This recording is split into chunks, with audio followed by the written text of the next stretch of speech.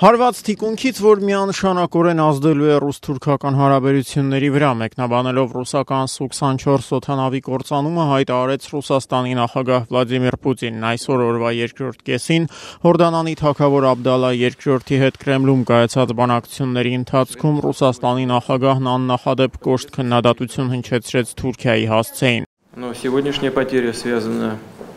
с ударом, который нам нанесли в спину пособники террористов. Այսօրվա կորուստն առնչվում է մի հարվածի հետ, որ մեզ թիկունքից հասցրեցին ահաբեկիչների հանցակիցները, հայտարարում էր Պուտինը։ Ռուսաստանի Դաշնության նախագահի խոսքից པարզ էր դառնում, որ այսօր առավոտյան թուրք-սիրիական սահմանի մերձակայքում տեղի ունեցած միջադեպի մասին նրան զեկուցել են ամենայն մանրամասնությամբ։ Նա Հորդանանի թակավորին պատմում էր, թե քանի կիլոմետր բարձրության վրա էր թռչում խոցված Su-24-ը, ինչ տեսակի հրթիռով է թուրքական F-16 կործանիչը գնդակոծել ռուսական օթանավը ракеты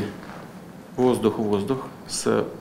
турецкого самолета F-16. Պուտինի պնդմամբ հարվածի պահին ռուսական օթանավը գտնվել է թուրքական սահմանից մոտ 1 կիլոմետր հեռավորության վրա Սիրիայի օթային տարածքում։ Наши летчики, наш самолет никак не угрожали Турецкой республике. Մեր օթանավն ու մեր օթաչուները որևէ կերպ չէին սպառնում թուրքական հանրապետությանը։ Դա ակնհայտ է հայտարարում էր Պուտինը, նշելով, որ այսօրվա օթային հարվածների թիրախը իսլամական պետություն խմբավորման Լաթակյան նահանգի հյուսիսում կենտրոնացած զինյալներն էին, որոնց հիմնական մասը Սիրիա է ժամանել Ռուսաստանի Դաշնությունից։ Պուտինը նաև ակնարկում էր, որ Թուրքիան ռուսական օթուժի դեմ գործողությունների դիմելով տնտեսական շահ է հետապնդում։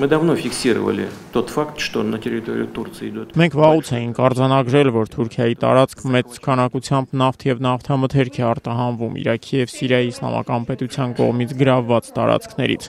Այստեղից էլ այդ կազմակերպության ֆինանսական սնուցումն այժմ էլ ահա հարվածներ մեր թիկունքին, հարվածներ օթանավերին, որոնք պայքարում են ահաբեկչության դեմ, հայտարարեց Պուտինը հստակ արձանագրելով տեղի ունեցածը չի կարող չազդել Անկարայի եւ Մոսկվայի հարաբերությունների վրա։ Сегодняшнее трагическое событие будет иметь серьезные последствия и для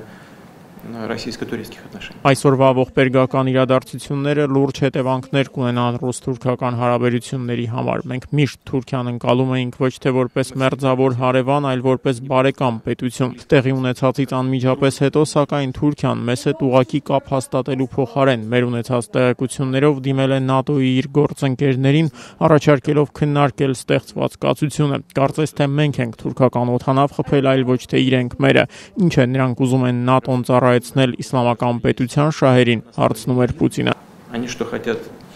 поставить НАТО на службу ИГИЛ? Հիշեցնեմ, որ ռուսական օթանավի կործանման մասին թուրքական լրատվամիջոցները հաղորդեցին այսօր առավոտյան։ Տեղեկությունը ի հայտ գալուց քիչ անց թուրքական հերոստալիքները մեկը մյուսի հետևից սկսեցին հերարցակել օթանավի կործանման կադրերը։ Դրանցում հստակ կերպով երևում էր, թե ինչպես է այրվող շարժիչներով ռազմական օթանավը ազատ անկման հետևանքով բախվում լեռան ստորոտին։ Թուրքիայի պաշտոնական Անադոլու լրատվական գործակալության տարածած տեսագրության մեջ էլ երևում էին օթանավի անկումից հաշված րոպեներ առաջ Su-24-ը լքած եւ պարաշուտներով իջնող ռուս օթաչուները։ Ռուսական օթանավի անձնակազմի ճակատագրի մասին առայժմ որևէ պաշտոնական տեղեկատվություն չկա։ Մի քանի ժամ առաջ սակայն թուրքական աղբյուրները հաղորդեցին, թե օթաչուներից մեկը զոհվել է, իսկ մյուսին գերեվարել են թուրք-սիրիական սահմանի մերձակայքում գործող թուրք մենզինյալները։ Համացանցում հայտնված տեսագրության մեջ երևում են մոտ 1 տասնյակ զինված տղամարդիկ, որոնք շրջապատել են զինվորական համազգեստով տղամարդու անշնչացած մարմինը։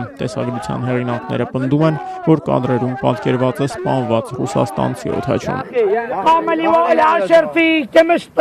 Ռուսի, Allahu Akbar! Allahu Akbar!